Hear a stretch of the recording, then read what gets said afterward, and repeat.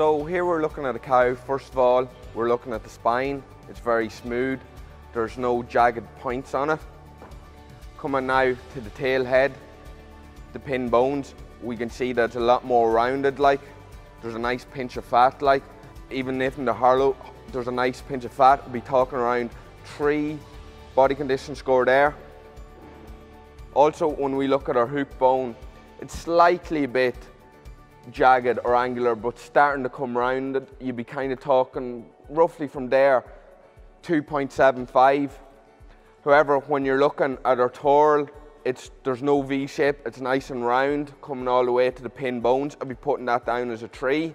We can see our short ribs, they're visibly seeable. You can, even with gentle pressure, you can feel the five of them.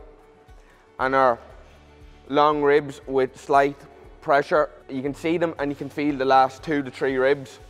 Overall, I'll be putting that cow in a body condition score of three. She just needs a small bit of treatment there. Um, generally, good top-notch silage over the dry cow period will be totally adequate for her to be calmed down of a body condition score of 3.25, three and a quarter.